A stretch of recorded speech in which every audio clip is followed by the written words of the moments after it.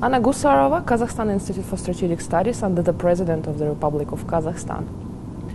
When we speak on Central Asia security challenges the region may face in near future, we should consider um, the situation around the region.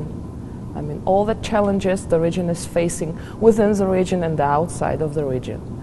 Apart from the foreign policy of the, each Central Asian states, we should consider the fact of foreign actors playing in Central Asia as a great game participants.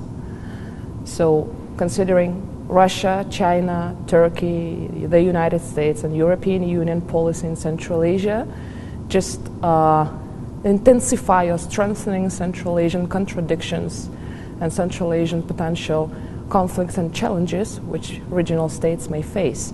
At the same time, when we say Central Asian security challenges, we should think on internal and domestic challenges which, which each Central Asian state face. For example, when we speak about the ISIS and the violent extremism phenomena, we should consider all that Central Asians who fight in Syria and then return, and that the policy of radic- de-radicalization and bringing them people to normal life is one aspect of CVE activity in the region. Another aspect is social and economic welfare, which has been uh, seriously challenged because of the low oil, low oil prices and energy crisis and Russian sanctions on economy, which influence through the Eurasian Economic Union, as well as other some important issues which Central Asia faces, which Central Asian states currently face. We should consider uh, Afghanistan as a part of Central Asia or as a threat of Central Asia, and this is a really question of uh, of a real Central Asian future, because some experts said that Central Asia can and should be without, without Afghanistan and see Afghanistan as a threat to their security. And Afghanistan colleagues usually appeal to uh, Central Asian extremists who fight in Afghanistan. So that's the situation in Afghanistan.